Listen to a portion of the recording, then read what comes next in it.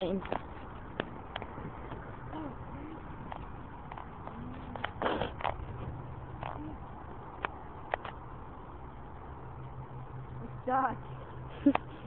Pull your front wheel forward front and turn.